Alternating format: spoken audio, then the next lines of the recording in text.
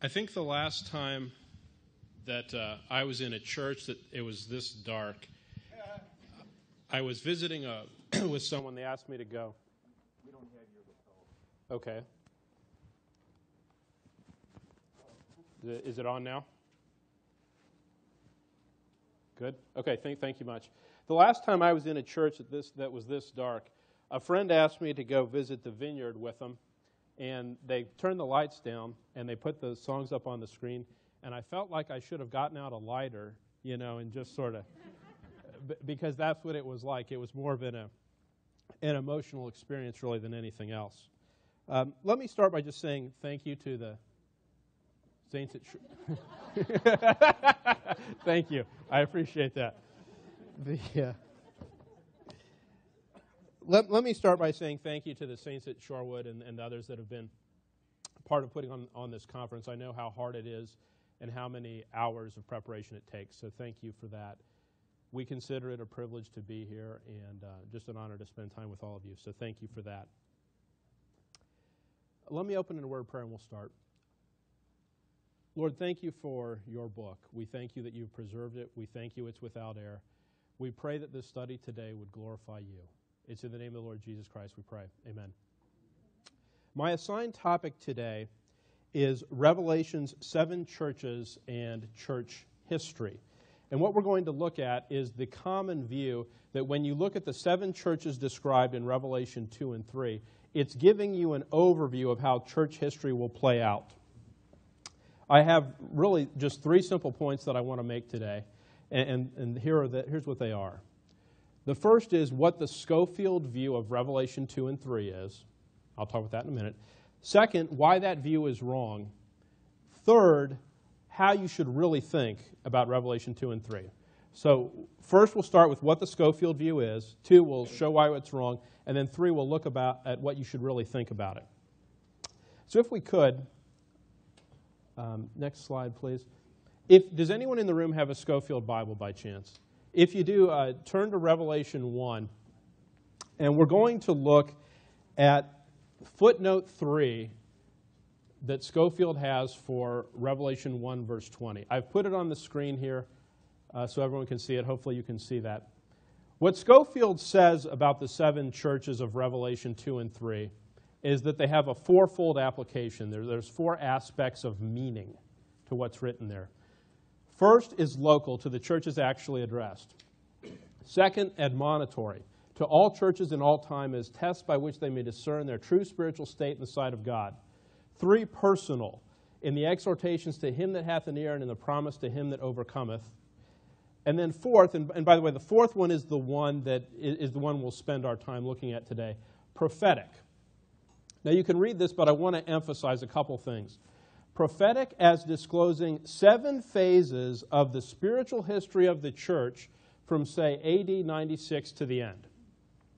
So, what Scofield is really saying is that the seven different churches in Revelation 2 and 3, each one of them pertains to a different phase of the church. So that if you take the seven of them collectively, they will give you the history of what the church dispensation, so to speak, how it will play out if you will, it's a prophecy about how, what will happen to the church through the time from AD 96 to the end. Scofield says it is incredible that in a prophecy covering the church period, there should be no such foreview. These messages must contain that foreview if it is in the book at all, for the church does not appear after Revelation 3.22. Now just notice what he's saying there. He's admitting that once you get past Revelation 3.22, the church clearly doesn't appear there. So if it's in there at all, it's got to be in Revelation 2 and 3. Notice what he then says. Again, these messages by their very terms go beyond the local assemblies mentioned. Now, notice this last, the last sentence on the page right now. Most conclusively of all, these messages do present an exact foreview of the spiritual history of the church and in this precise order. So it's an, exact foreview of the history of the church, and notice they are in precise order. This page is the rest of that footnote. I give that to you just for the sake of completeness. I'm not going to spend a lot of time on that. Let's go to the next one if we could. What I've just shown you up till now is Scofield's note in Revelation 1, verse 20. That's Scofield's view of what the seven churches mean. While that is Scofield's view, and I'll call that the Scofield view just for simplicity, it's a common view. Scofield is closely associated with it simply because the Scofield Reference Bible had such an impact on the thinking of the body of Christ that that, that view is associated with him. But as you can see from this chart, this is one of Clarence Larkin's charts. It ha- has the exact same concept. Now, this may be hard to see, so I'll just call out to here what, what I think you really need to know. If you look at this row right here, this row right here, what this has is the seven different churches listed in Revelation 2 and 3. It has Ephesus, Smyrna, Pergamos, Thyatira, Sardis, Philadelphia, and then Laodicea. And, and what will happen is if you look down here, right along this row, and again, I know this is hard to see, what it's going to do is it's going to give you the history of time starting from 100 AD all the way out to 2000. Meaning that if you look at this, what it's saying is Ephesus here starts in first century and then goes all the way up to, here he says, about 200. And at 200 is where Smyrna starts, and then it goes for a while and so on. But the point of what both Larkin and Scofield are doing is they're saying these seven churches give you these phases or eras in the history of the church. Okay? So hopefully you're with me on that. We can go ahead and, and, and turn that off and put the lights on, and we'll, uh, we'll end the disco session of the, the message and, and move on from there. Why the Scofield and Larkin view, uh, uh, my opinion, why I think it's so attractive to folks is what it does is it gives them a way to think about the history of the church and gives them a way to say, this is where we are and this is what's coming next, right? There, there's, my observation is that man likes to find himself in prophecy. He likes to find verses and say, oh, this is about me, and this verse is being fulfilled in our day. So that, that fourth uh, of the fourfold applications that Scofield mentioned is the one that really resonates with people and that affects how the verses are perceived. Let's move to the second section of, the, of what I want to cover today. And, and th- this section, what we're going to look at, is why the Scofield view is wrong. To start looking at that, let me make two observations. I want to share with you two things that are implications of the Scofield view. The first implication is this the seven churches represent different phases of church history, which means that the churches cannot simultaneously exist. Right? So, in other words, he's saying these are seven different phases. So, can these phases coexist? And the answer is no. Can you be in the 70s and the 80s at the same time? And the answer is no. You can't be in the 70s and 80s. You can't be in the 50s and 90s at the same time. It's the nature of a phase, right? You leave one and go into another. So the first impl- implication of Scofield's view is that those seven different churches cannot simultaneously coexist. The second implication is this the seven churches present the history of the church in precise spiritual, uh, uh, uh let me quote it, in precise order. So you go right from Ephesus to Smyrna to Pergamos in that exact order. So let's consider the first implication, and that is that the churches cannot simultaneously coexist. Now, let me, let me insert one caveat. When you read the Scofield note very carefully, he hedges with the last two. So he says that they occur in precise order, he says that they're phases. He sees some overlap between Philadelphia and Laodicea. But in general, his point is these cannot coexist because they are phases that are in precise order. Look with me at Revelation chapter 2, verse 1. So when you look at, at Revelation 2 and 3, it's going to describe each of these seven churches, and then it will, will say some words about them. So if we look at Revelation chapter 2, verse 1, this is the first church, it's the church at Ephesus. Unto the angel of the church of Ephesus, write. And then it says some things to the church of Ephesus. What I, what I want you then uh, to notice is if you go down to uh, chap, uh, verse 7, Revelation 2 7. He that hath an ear, let him hear what the Spirit saith unto the what? Church as plural. Now, when it does that in verse 7, notice what it does in verse 8. And under the angel of the church in Smyrna write, and then it's going to say some things to the church in Smyrna. But then notice verse 11. He that hath an ear, let him hear what the Spirit saith unto the what? Churches, plural. And what happens is if you go through Revelation chapter 2 and chapter 3, and you can, you can do this on your own time, I won't just to save time, but if you go to then verse 17, verse 29, in chapter 3, verses 6, 13, and 22, each time it's going to say, He that hath an ear, let him hear what the Spirit saith unto thee. And then what does it say? Churches, plural. Now think with me for a moment. If you think about what Scofield is saying, is he saying that there are seven different churches, or is he saying that there are seven phases of one church? He's saying that there's one church. Let me put the question this way Are you in a different body of Christ than what Paul was?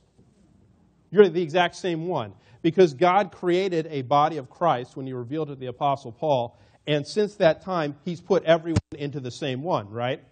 There is one body of Christ, one church during the dispensation of grace. What Scofield is saying when he says that there are seven phases of the church, what he's really saying is it's one church that exists throughout time. It leaves the Ephesus phase and then goes into the Smyrna phase and so on. But when you look at the language of Revelation chapter 2 and chapter 3, doesn't the very language itself tell you that it contemplates different churches existing at the same moment in time? He that hath an ear to hear, let him hear what the Spirit saith unto the churches, plural. So, what I would suggest to you is just the very language of Revelation 2 and 3 tells you that there's more than one church coexisting at any point in time. Now, let's consider the second aspect of what Scofield was saying. What he said is that the seven churches present the history of the church in, quote, precise order. So let's consider the church at Pergamos. Get with me, if you would, Revelation chapter 2, verse 16. Revelation 2:16 Repent or else I will come unto thee quickly and will fight against them with the sword of my mouth. What's that a reference to? It's the second coming, isn't it? Look with me at Revelation 19. We're going to come back to Revelation 2 and 3, obviously. We'll spend a lot of time there. But notice with me Revelation 19, verse 15. And out of his mouth goeth a sharp sword, that with it he should smite the nations, and he should rule them with a rod of iron, and he treadeth the winepress of the fierceness and wrath of Almighty God. And, and just go up to verse 11 just for a moment, if you would. And I saw heaven opened, and behold, a white horse, and he that sat upon him was called faithful and true, and in righteousness he doth judge and make war. When you read Revelation 19, it's very clear that what's happening is heaven is opened, Jesus Christ is sitting on a white horse, he's going to return to the earth to take vengeance on his adversaries. And then verse 15 tells you that, that there's this sword that goeth out of his mouth that taketh vengeance on his adversaries. Now, my point in telling you all that is so go back to Revelation 2. Revelation chapter 2 in verse 16, repent or else I will come unto thee quickly and will fight against them with the sword of my mouth. That is unmistakably the second coming. That, that's absolutely what it is. It's a reference to Revelation 19. So that's what Jesus Christ says to the church of Pergamos. But look with me then and notice what he says to the church of Thyatira. Look at verse 25.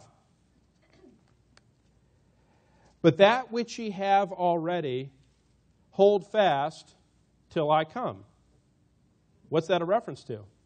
The second coming, right? He's telling them, hold fast until I come. Get with me, Revelation chapter 3, verse 3. This is what is said to the church at Sardis. Revelation 3 3. Remember, therefore, how thou hast received and heard, and hold fast and repent. If therefore thou shalt not watch, I will come on thee as a thief, and thou shalt not know what hour I will come upon thee. What in the Bible is described as coming as a thief? Yeah, look with me at get 1 Thessalonians 5 and 2 Peter 3. 1 Thessalonians 5 and 2 Peter 3.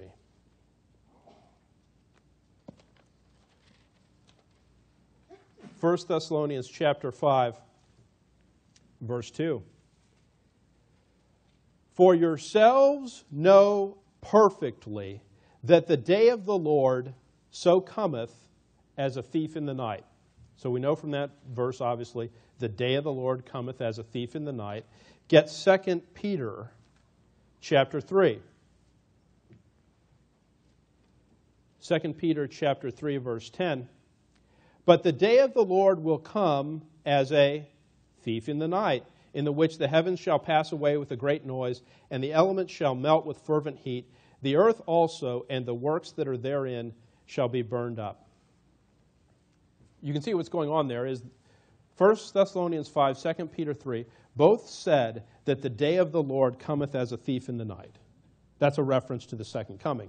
Jesus Christ says in Revelation, I will come upon thee as a thief. So he's referring to that day of the Lord. He's referring to that second coming in what he says in Revelation 3 3. Now, think with me for a moment. Just help me with this here. We saw that he referenced the second coming in Revelation 2:16. He then referenced the second coming. He did that to the church of Pergamos. He then said to the church at Thyatira, "Hold fast till I come," referencing the second coming. Then he said to the church at Sardis, "I come as a thief." Now someone tell me why those 3 verses right there are a complete disproof of Scofield's view. Now, if you think, so think about this with me for a moment. Let's take the first one, Pergamos. Remember when we put Larkin's chart up there? Pergamos was the third phase of the church, right? Now, what he says in, in Revelation 2.16, I will come unto thee quickly.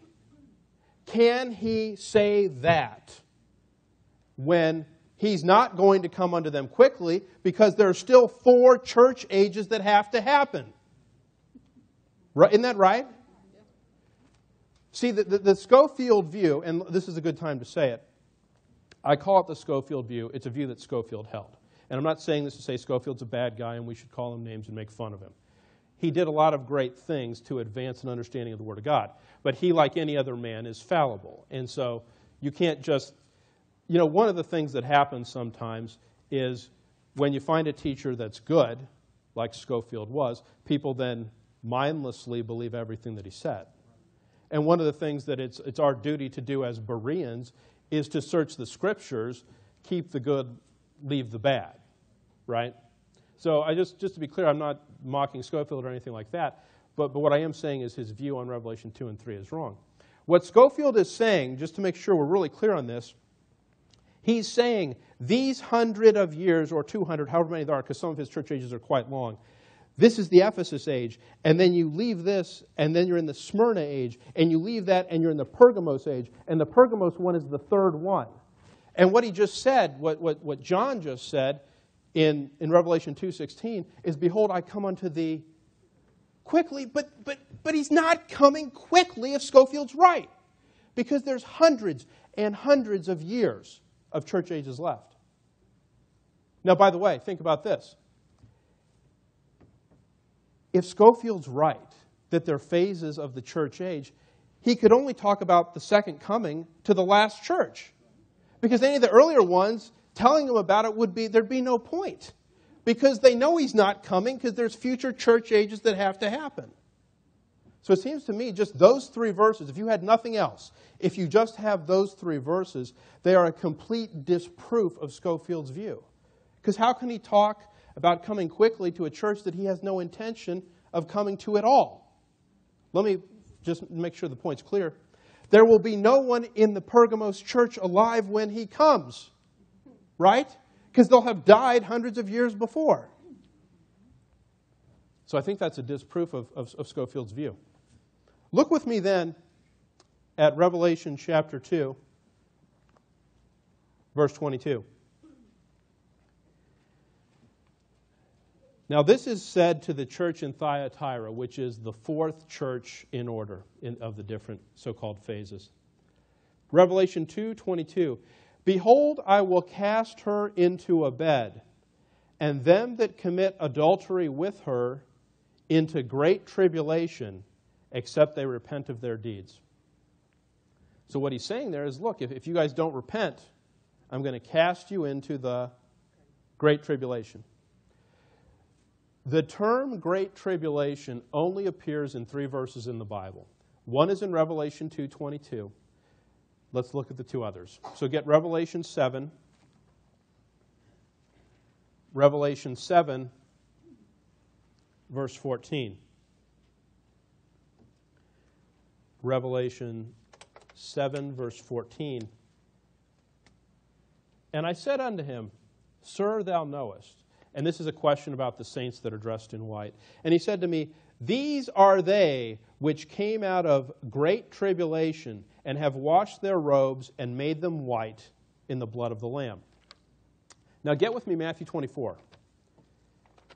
Matthew 24 is the third place that the term great tribulation appears. Let's start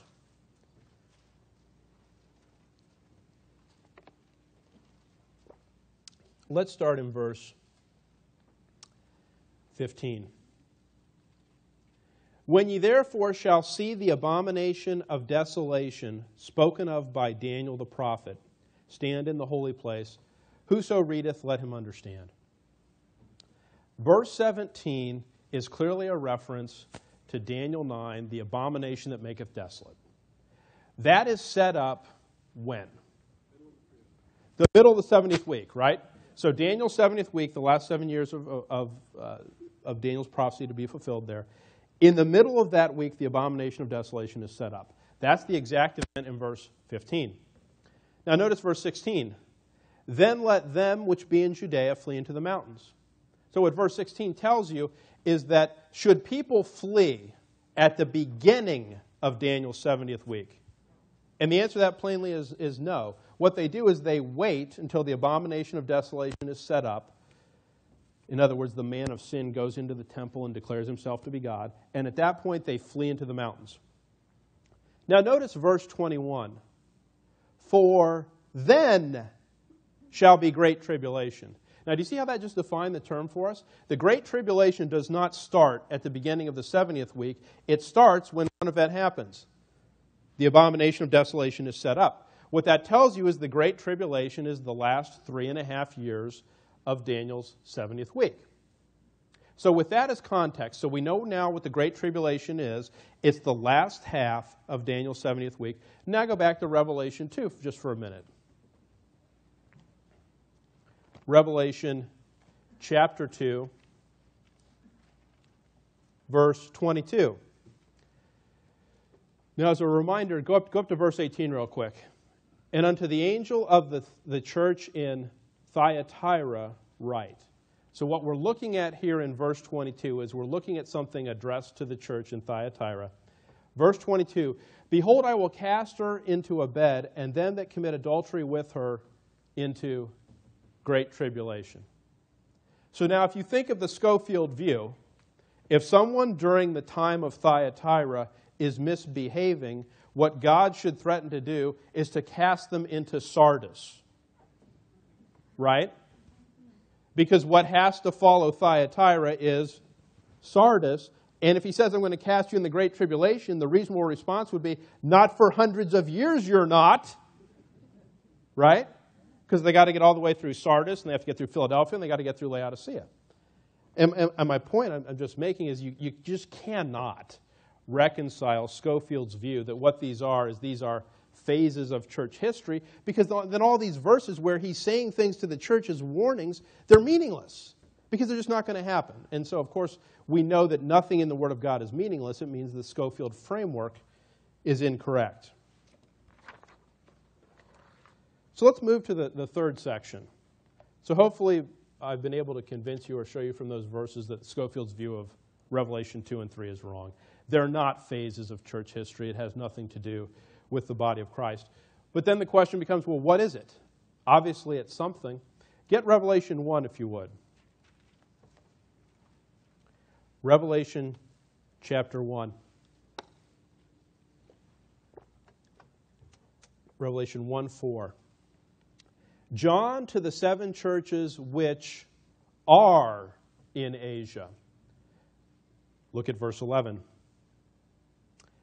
Saying, I am Alpha and Omega, the first and the last, and what thou seest, write in a book, and send it unto the seven churches which are in Asia.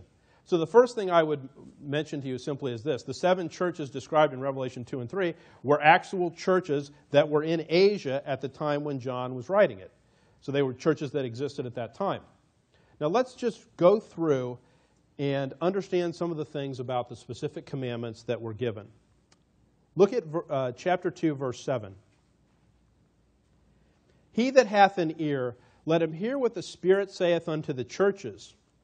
To him that overcometh will I give to eat of the tree of life, which is in the midst of the paradise of God. So it talks here about overcoming. Let's make sure we understand what that is. Get with me, 1 John chapter 2. 1 John chapter 2. When the word overcome is used in Hebrews to Revelation, I think it has a very specific reference. I'll show you the verses and you can decide whether or not that's true. 1 John chapter 2 verse 14. I have written unto you fathers because ye have known him that is from the beginning. I have written unto you young men because ye are strong and the word of God abideth in you and ye have overcome notice the wicked one. When the word overcome is used, it is a reference to overcoming the wicked one. Look with me, you're in 1 John. Look at chapter 5. Chapter 5, verse 18. We know that whosoever is born of God sinneth not, but he that is begotten of God keepeth himself, and that wicked one, what does it say? Toucheth him not. So, what we know so far about this wicked one is that believers have to overcome him. And what they also, what happens when they overcome him is what happens is the wicked one toucheth him not. Well, what is that? And what I would suggest to you, obviously, it's the mark of the beast, right? When people during the Great Tribulation are confronted with the issue of whether or not they take the mark, they take the mark as an act of worship to the beast. And those that overcome, the wicked one toucheth him not. You're in 1 John chapter 5. Look at verses 4 and 5.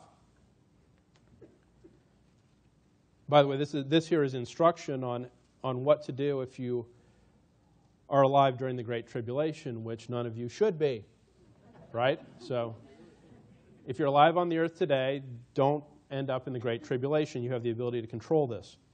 For whatsoever is born of God overcometh the world, and this is the victory that overcometh the world, even our faith. Who is he that overcometh the world but he that believeth that Jesus is the Son of God? Now, think through those there because I think that's actually very helpful. When you read 1 John, just a, a fascinating book, in 1 John 4, it tells you to try the spirits. And what it tells you in trying the spirits is to, to test them as to whether or not they believe what? Jesus Christ is come in the flesh. Because the basic issue during that time is there'll be one of two things that people believe about Jesus Christ. They'll either believe that he's already come in the flesh at the time of the first coming, offered himself a sacrifice for sins. Those folks, according to verse 5, they believe that Jesus is the Christ, that Jesus is the Son of God. And if they have faith in that, you know what will happen? the wicked one will ch- toucheth him not. Because if they have that faith, they won't take the mark, they won't be damned. But the folks that have that wrong, in other words, the folks that pick the wrong Christ, what the wrong Christ is going to do, the man of sin, the son of perdition, he goes into the temple, and what does he say? I'm here. That's what 2 Thessalonians 2 calls strong delusion. That's what Matthew 24 says that the deception will be so great that if possible, it would deceive even the, the very elect because it's so compelling, it's, it's so persuasive. Now, what's going on here is that, in, go back to Revelation 2 7, if you would. When it talks about overcoming here, it's talking about people having the faith to believe the true thing about Jesus Christ and hence not be caught up in the deception that exists. Let me share one thing with you. This is a, something I read a while ago that this story has just, it, it's just fascinating. So maybe this is a fable, so maybe you shouldn't pay attention, and it won't bother me if you zone out. Um, but the, so a rabbi in Israel was being interviewed.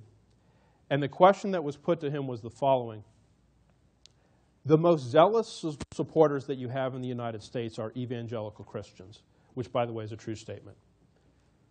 And they think that you are fundamentally wrong about the Messiah. And so the question they put to the rabbi was, How do you feel about the fact that your most zealous supporters think you're fundamentally wrong?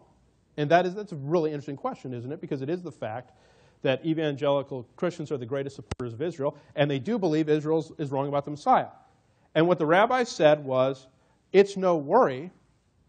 When he shows up, We'll just ask him, Are you coming the first time or the second? and what's terrifying is I think that's probably a real mindset that exists. Hey, if you don't understand, just ask a question. But if you ask a question to the man of sin, he might not tell you what's true. Right?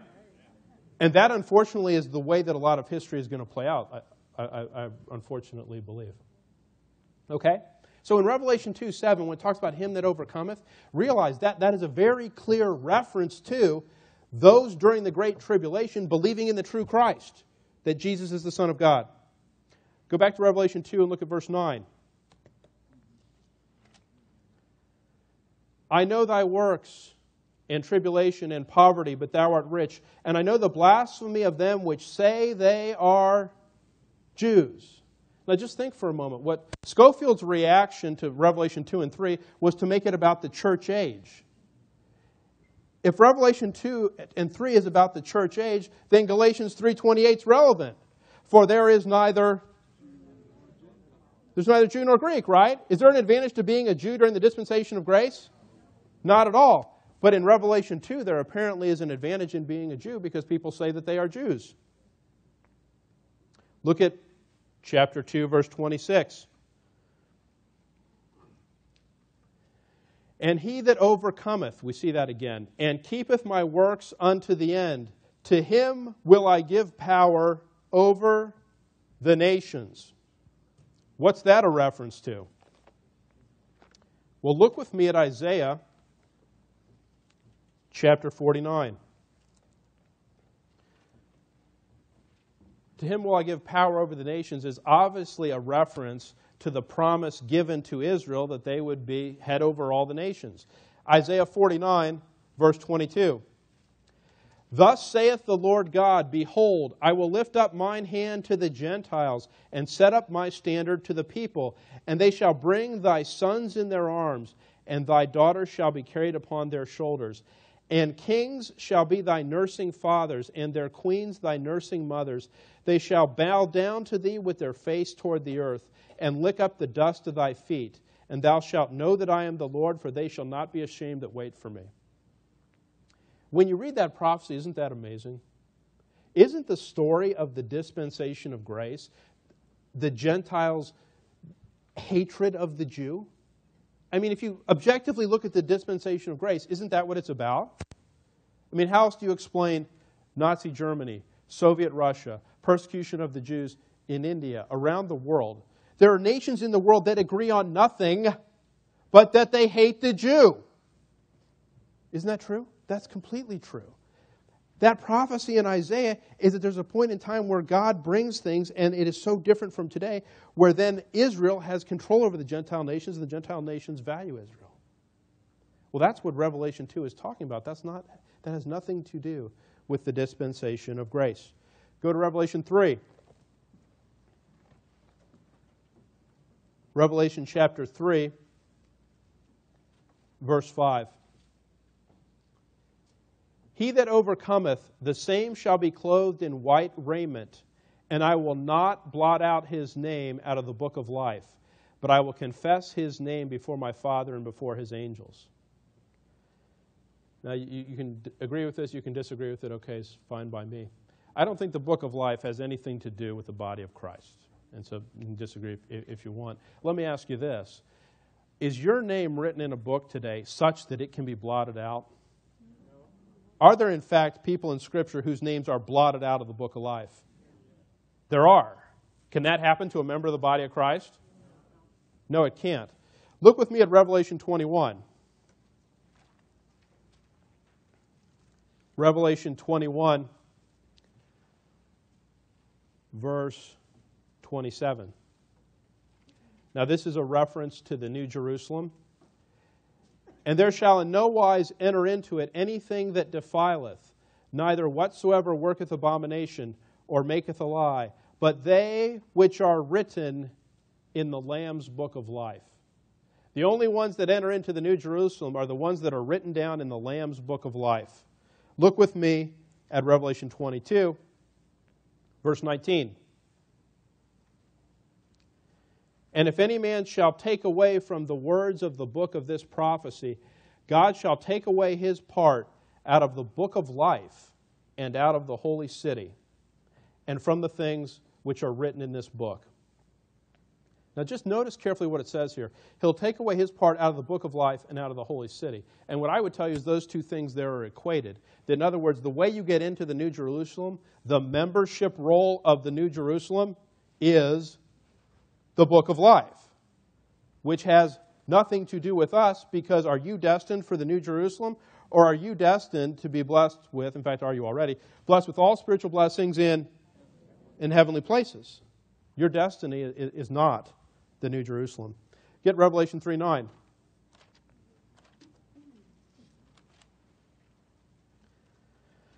Behold, I will make them of the synagogue of Satan, in which say they are Jews Again, there's a Jew Gentile distinction with these seven churches. Notice verse 12. Him that overcometh will I make a pillar in the temple of my God, and he shall go no more out. And I will write upon him the name of my God and the name of the city of my God, which is New Jerusalem, which cometh down out of heaven from my God, and I will write upon him my new name. Well, what happens there is those that overcome are pillars in the New Jerusalem. That's not the body of Christ. So, so let me say this to you, and I don't, I don't know if you agree with this or not. The book of Revelation is focused on the prophetic program. It has very little to nothing to say about the body of Christ. I can find almost nothing in here that's about the body of Christ. The only verse I know of, and maybe someone afterwards will come up and show me a different one, and that'd be fine. Look at Revelation 12 12. The only verse I know of that, that may reference the body of Christ is Revelation 12 12. This is after Satan is cast out of heaven. Therefore, rejoice, ye heavens, and ye that dwell in them. And people look at that and say, well, the ye that dwell in them is the body of Christ because the body of Christ is in heaven at that time. And I, would certainly agree that the body of Christ is in heaven at that time, but there's also other people in heaven at that time that have nothing to do with the body of Christ that rejoice that Satan is cast out. My, my point just being that Revelation as a book is not about explaining the future of the body of Christ. Revelation as a book is explaining the future of the prophetic program, the future of kingdom saints. It's how the end times prophecy unfolds, and then Jesus Christ sets up his earthly kingdom, and then he sets up the New Jerusalem. And that's what the book is really about. It seems to me a mistake to look for the body of Christ in the book of Revelation. Get Revelation 22.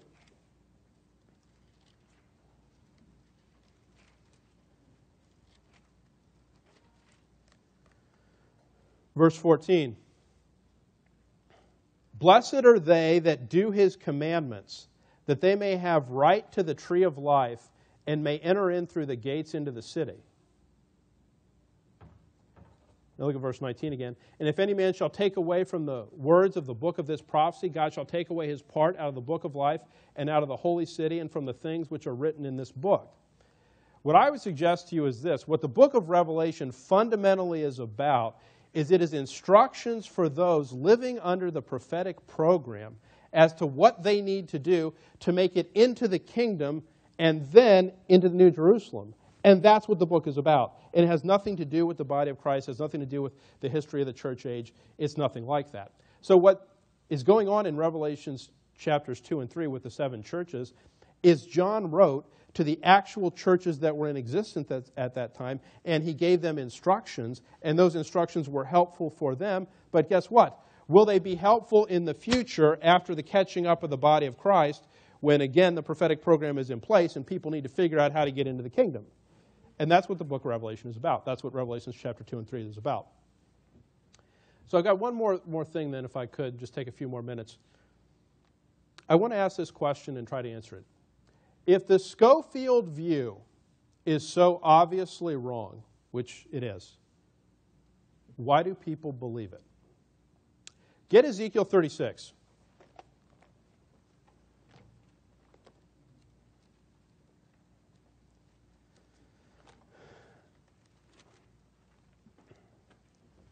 Ezekiel 36, verse 24. For I will take you from among the heathen and gather you out of all countries and will bring you into your own land. Now, what does the vast majority of churchianity say that verse is a reference to? Four, give me four numbers 1, 9, 4, 8. Right? Doesn't churchianity look at that verse and say that's 1948? Right? Israel's back in their own land. Ezekiel 36 is being fulfilled. Look at verse 23. And I will sanctify my great name, which was profaned among the heathen, which ye have profaned in the midst of them.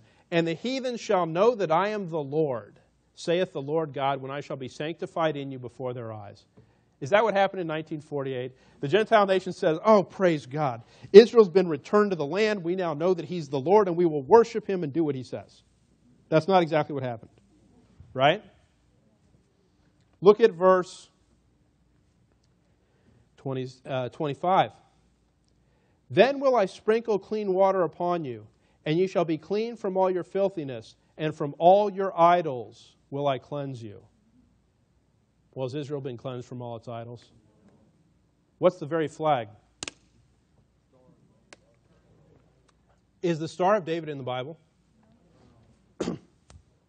See, in Acts 7.43, pardon me, there's the star of their God, Remphan, which is, uh, as far as I know, what the Star of David is. There's no six pointed star that, that Israel's commanded to use as its symbol. But my point is, has Israel been cleansed from its idols? No.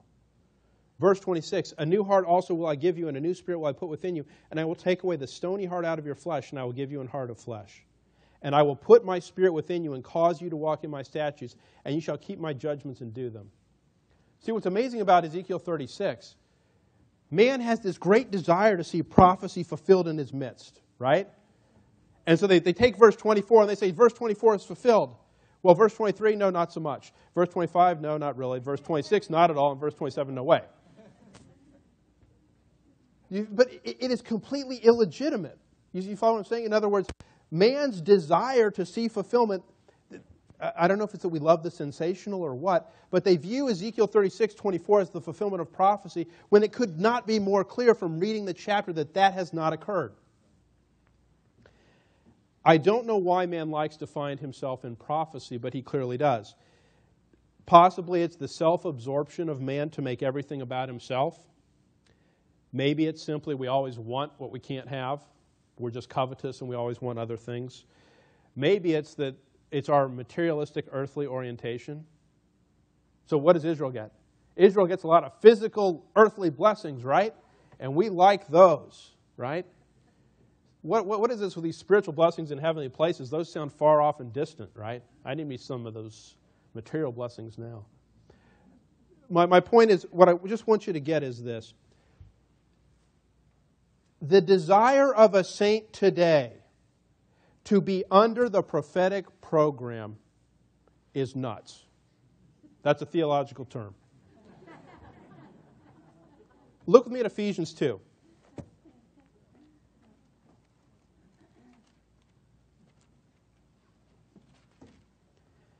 Ephesians 2, verse 12. That at that time ye were without Christ, being aliens from the commonwealth of Israel, and strangers from the covenants of promise, having no hope and without God in the world. You know how crazy it is as a Gentile to say, I want to be under the prophetic program? That's wanting to be under all that. Strangers from the covenants of promise, aliens from Israel, without hope and without God in the world. And you say, well, I'm not interested in that. I'm interested in the prophecy program in the future. Well, let me ask you a question. How does the prophecy program in the future, right after the catching up, sound? What happens? You immediately go from a dispensation in which you could have eternal life and eternal security as a free gift in an instant to endure unto the end. Right? When we were in Revelation 7:14 earlier and talked about the great tribulation, those that washed their robes, what did that, what did that have a reference to? That, that's, a, that's a description there of the saints that emerge from the great tribulation. And by the way, the saints that make it through the great tribulation, what happens to many of them?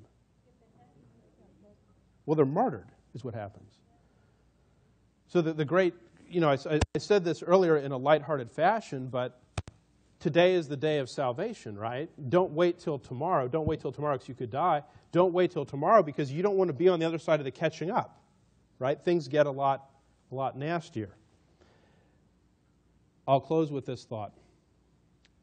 Man's self obsession and desire to see himself in prophecy despises the grace of God. I mean, think of it. We live during the time of God's long suffering.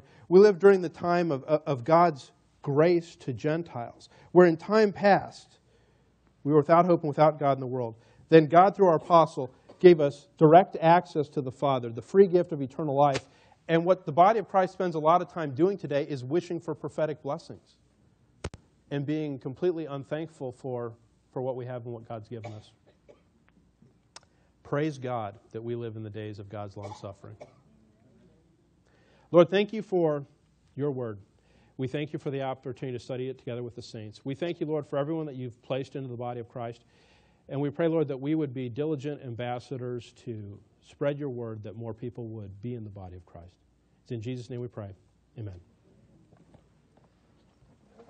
Thank you.